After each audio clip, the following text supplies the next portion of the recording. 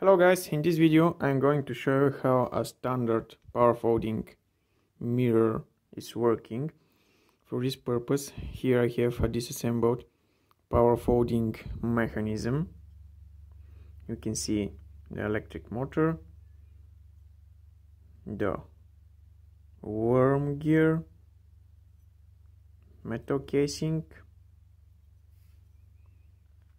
We have this roller bearing which goes in this position we have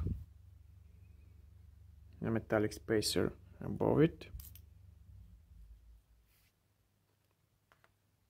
Also we have this tiny little brass balls with holes in it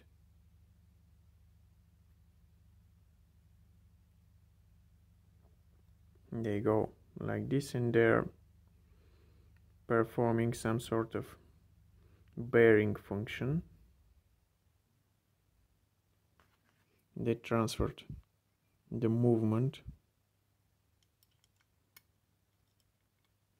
from the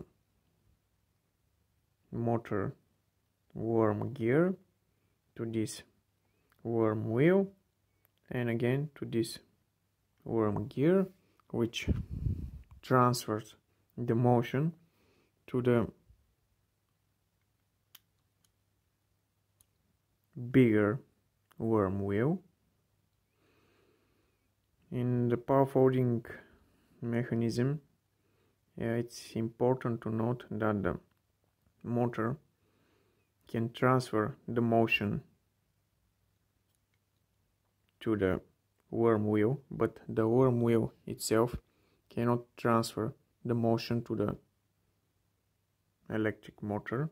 And this is because the design of the worm drive you can see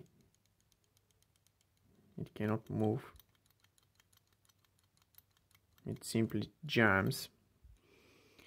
So it's uh, really important in the power folding mirrors to be implemented some sort of safety mechanism which uh, protects the mirror in case someone hits it in a forward position.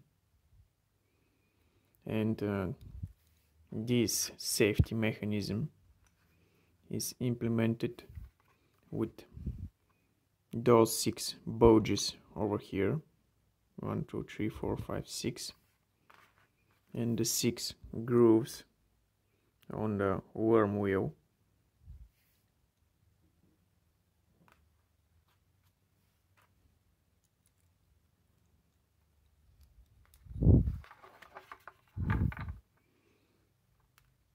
In a normal situation the bouges go into the grooves and um, the worm wheel itself is stationary. The motion let me remove those parts I don't need now.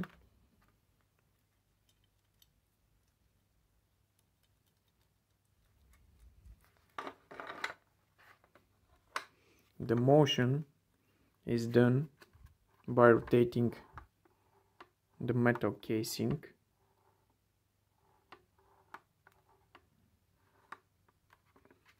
Here the mirror is unfolded and here it's folded. We have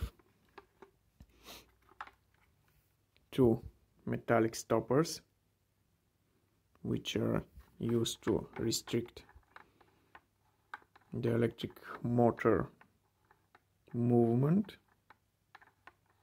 When the metal casing hits the stopper the current that uh, goes inside the motor um, exceeds the predefined thresholds and the motor is turned off. Again when you press the power folding mirror button and the motor starts folding the mirror assembly. Again it hits another stopper this time. It hits this stopper here.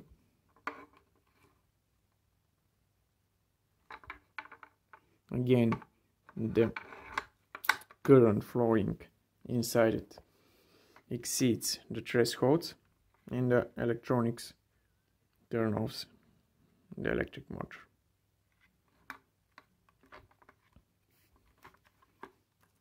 now when somebody a car or a person let's say crashes in your mirror and uh, moves it into forward position the spring that pushes down the metal casing simply contracts and the entire metal casing with the worm wheel inside it goes above the metal stopper and your mirror is safe from breaking.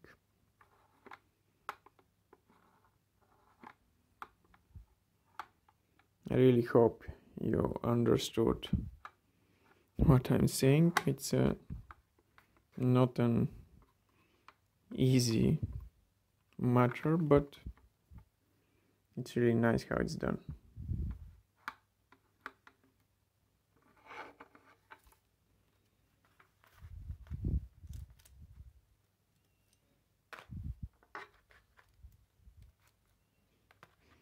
So, bye for now.